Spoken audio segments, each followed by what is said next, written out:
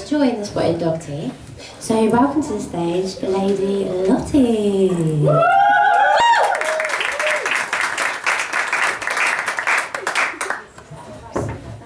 Yeah, okay.